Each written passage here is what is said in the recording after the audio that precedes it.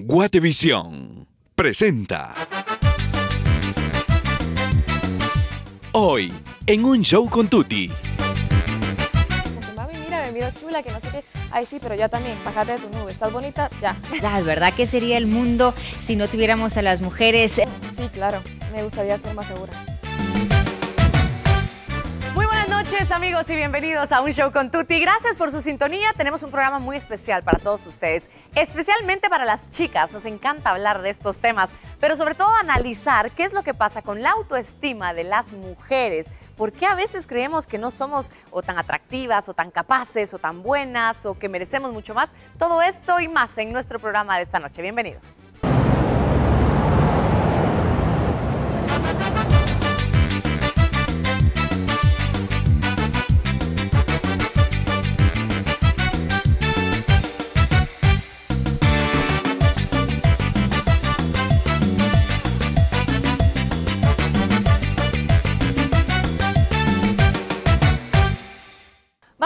A este programa, amigos, eh, porque fue muy interesante el proceso de elaborar este programa, hablando sobre el autoestima en mujeres. ¿Por qué? Porque nos dimos cuenta a través de ciertos ejercicios que se plantearon desde la producción de que muchas veces como mujeres no terminamos de aceptar, de reconocer, de entender, de sentirnos, de vernos tal cual somos, sobre todo con todas las virtudes. Aparentemente, desde hace algún tiempo se pensaba, en muchas ocasiones se sigue pensando, que una gran virtud de las mujeres es ser muy humilde, ser eh, muy modesta, ser recatada, no reconocer que somos algo grande, algo brillante, algo lindo, algo inteligente, algo capaz, sino que todo lo contrario, mientras más calladita, más... eh, tranquilita, una mujer más, más virtuosa era. Y creo que estas cosas han ido cambiando afortunadamente. Sin embargo, todavía quedan algunos restos de estos pensamientos y por eso quisimos hacer este programa. Lo voy a explicar. Hicimos una serie de ejercicios que vamos a ir viendo al inicio de cada uno de los bloques en diferentes ramas de cómo es que nos apreciamos las mujeres y el concepto que tenemos de nosotras mismas. Luego vamos a hablar con algunas de las personas que nos ayudaron a realizar estos ejercicios y también vamos a hacer un análisis con expertas sobre este mismo tema. Así que arrancamos primero con este experimento. Steffi es muy relajada. Y me, me agrada esta parte porque uno se la pasa súper bien con ella. Bueno, ella es muy alegre. Salimos a algún lado y ella siempre está como, mucha, ¿por qué no se animan? o algo así. Siempre está tratando de animar a todo el mundo. Es algo reservada a veces, pero ya cuando agarra confianza, ¿quién la para? es bastante audaz. Tefi es muy amiguera también, pero al mismo tiempo es eh, muy cerrada. Tiene porte, bonito cuerpo, es bonita, su cara me gusta. Sus cejas, cómo se maquilla, porque ella es maquilladora y me encanta cómo se maquilla siempre. Físicamente, bueno, es muy bonita, pero sí, su, su manera como que de vestirse o arreglarse es muy diferente a la de todos y creo que eso la hace única. a mí, de las características que me dijeron todas, eh, me da risa porque todas dicen que soy muy relajada y tal vez es cierto, pero creo que eso, bueno, es importante porque eh, no hay que tomar las cosas tan como que personales, sino que uno tiene que dejar que las cosas pasen. Es como que amable con todos, pero siempre cuando ella tiene un punto de vista, siempre lo hace ver, le gusta que la gente sepa qué piensa, Eh, es muy amable, me encanta porque ella es muy atenta con todas las personas. Siempre me he dado cuenta de eso. Yo creo que, que Adriana es una persona segura, siempre sabe decir sí y no cuando, cuando tiene que ser, ¿verdad? Eh, es dedicada, sobre todo con su familia, y es amorosa. Puedo estar en cualquier lugar y ella siempre como que me saluda, puedo estar en el súper, donde sea, me saluda siempre. Tiene porte, tiene cuerpo, me gusta su cuerpo. A pesar de que ya es mamá, eh, se ha sabido cuidar. me encanta su nariz porque está respingadita, así bonita. Adriana físicamente es bonita, eh, su color de piel me encanta. Bueno, las características que me llamaron la atención, me sorprendió algunas como arreglarme porque pues ellas son mis amigas de la universidad y hay veces que realmente no me da tiempo, salgo corriendo temprano, ¿verdad? Y pues que ellas hayan dicho de que me ven casi siempre arreglada, pues eso sí me sorprende. Aixa en su personalidad es muy seria, muy reservada. eh, cuesta mucho sacarle la sonrisa. Ella puede haber una dificultad que ella eh, pues siempre está tranquila.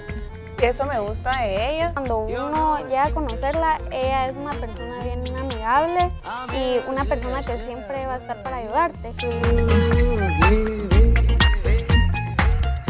Es bien bonita, me gusta cómo se maquilla, siempre está súper arreglada. Su rostro es súper lindo y se ve así como suavecito, de muñequita. Y siempre me ha gustado eso de porque parece una muñequita, siempre se arregla súper lindo, usa colores eh, muy claros, pero le van. Las uñas de Aixa siempre están re lindas, de las manos, los pies, todos, sí se, los, se las super cuida. Yo creo que fue seria. Siempre me lo han dicho y siempre he estado peleando conmigo misma eh, acerca de ese tema porque yo a veces trato, trato de no ser tan seria, en serio trato mucho, pero siempre me ven como seria, o sea, no es- a veces estoy sonriendo y ay, mano, qué seria estás, que no sé qué. Y hoy está aquí con nosotros Aixa Aguilar. Me da mucho gusto tenerte aquí. Aixa, ¿cómo estás? Bien, gracias, ¿y tú? Bien, también. Gracias por, por acompañarnos. Bueno, eh, contigo arrancamos este programa eh, porque hicimos este ejercicio, eh, esta actividad en donde varias personas que igual se conocían, pues te decían algunas cosas que les gustaba, cómo te veían desde fuera, y si eso coincide o no con lo que tú misma percibes de ti. Ya nos dijiste también cómo habías eh, encontrado la actividad, pero yo veía en algunos momentos cuando ellas te decían cosas que bajabas la mirada, son- sonreías. ¿Qué sentías en el momento en el que te Eh, estaban diciendo esto? Claro, me daba como un poco de pena, porque no es de que a mí me gustan de que siempre me estén echando flores o algo por el estilo, es como que me dicen, ah, la qué bonita, y es como que, gracias, gracias, como que, no sé, no me gusta ser como que vanidosa, porque es como que, a esa cae mal porque es una creída. No, es como que siempre me dicen algo bonito, es como que, ah, la qué- gracias, qué pena. Si te dijera, por ejemplo, bueno, hoy veniste y nomás te vi, te dije qué chumpa preciosa, y me dijiste gracias. Muy tranquila, lo recibiste muy bien, porque está hablando de la chumpa, no está hablando de ti, tal vez. Claro, claro, ¿Por qué exacto. crees que tenemos esa, esa forma de ser en donde si yo te reconozco un trabajo que haces, dices muchas gracias? Si yo te digo, qué ojazos lindos tenés, ay, gracias. ¿No? Como que no lo recibes de igual forma. ¿Por qué crees, Eh, Aixa? Creo que es el prejuicio que uno tiene de las personas. Creo que todo empieza desde ahí, porque desde pequeño uno nos dicen, eh, uno tiene que ser humilde, uno tiene que hacer esto, uno tiene que ser lo otro, y si uno lo, lo, lo- como que le echan flores o algo así, es como que gracias, ya, ahí se acabó. Y por ejemplo, en mi caso, en mi casa siempre era como que, mami, mira, me miro chula, que no sé qué, ay sí, pero ya también, bájate de tu nube, estás bonita, ya. Uno tiene que ser humilde no tiene que ser cae mal ni creída. Entonces eso siempre me ha ayudado como que, bueno, sí, gracias, no sé. Aparte yo creo que la sociedad tampoco ayuda, porque uno es como que, ala, me miro bonita, ¿verdad? Que no sé qué, y la sociedad es como que, ah, sí, qué creída o qué vanidosa. Claro. Entonces yo siento que es eso. Interesante, porque te la última pregunta que te quiero hacer antes de, de seguir con el programa es, mm, ¿crees tú que tus amigas te ven más bonitas a ti de lo que tú te ves a ti misma? Sí, yo ¿Sí? creo que sí. Me pasa mucho, yo soy muy insegura. Eh, no sé por qué, y es como que cuando llego a la universidad o algo, ala, qué bonita veniste hoy, ala, mira, qué bonita que no sé qué, yo, gracias, es como que bueno, hago lo que puedo. Pero sí, yo la verdad no me siento tan bonita como a veces los otros, las otras personas me ven. ¿Y eso es una ventaja o una desventaja, Ixa? Yo siento que es una desventaja, Ujú. porque no tengo la suficiente seguridad en mí misma. ¿Te gustaría recibir eso, te- sentirte al 100% guapísima como sos, porque sos preciosa además? Gracias. Mm, sí, claro, me gustaría ser más segura. Interesante cómo todas esas ideas que nos van dejando cambian la forma en que nos percibimos a nosotras mismas. Hoy hablando sobre autoestima de mujeres, Aixa, gracias por estar con nosotros. De verdad, nada. un gustazo. Y vamos a conocer también a través de estas cápsulas qué opinan mujeres que están eh, al escrutinio público, por alguna forma decirlo, porque trabajan en un medio de comunicación, específicamente aquí en nuestro canal. ¿Qué opinan ellas de esto de la belleza, la autoestima y ser mujeres?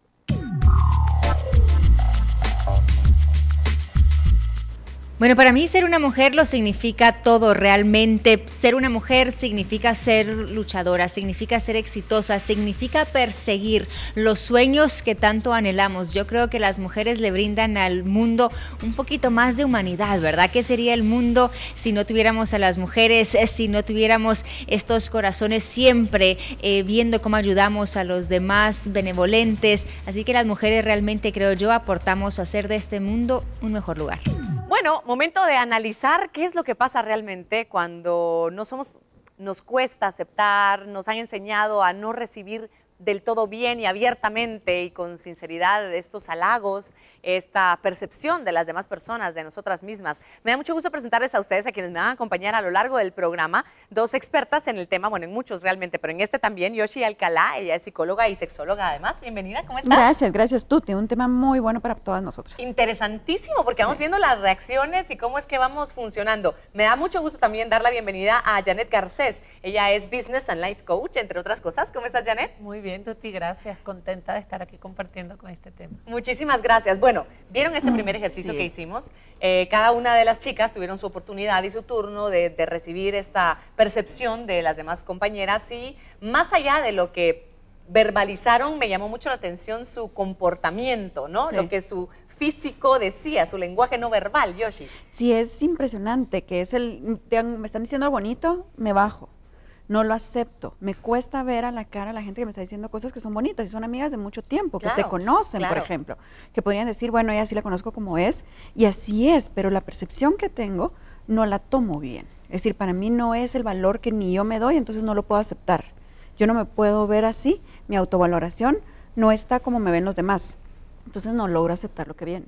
Interesante porque nos decía también eh, Aixa que eh, desde pequeñita le enseñaron a no ser, a no aceptar o a no decir incluso, a no lucir eso de lo cual ella se sentía orgullosa, de me miro bonita, ¿no? Y esto, ¿qué, qué fuerte puede ser para nosotras las mujeres desde Así pequeñas. es, sí, e- esa historia, ¿verdad?, que nos marca tanto.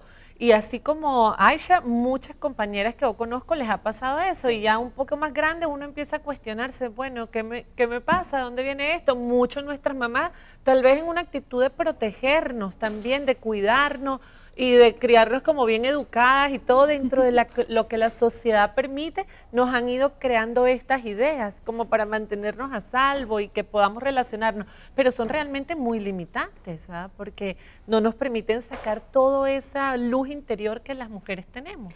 Eh, que una mujer sea segura de su belleza es eh, arrollador para la sociedad, para los hombres, digo, es, es un peligro. ¿Por- ¿Por qué no nos permiten ser seguras? Deja de la belleza únicamente física, pero a todo nivel, ¿no? Tu forma de ser, tu personalidad, el ser seria o matarte de la risa. eh, Intimida.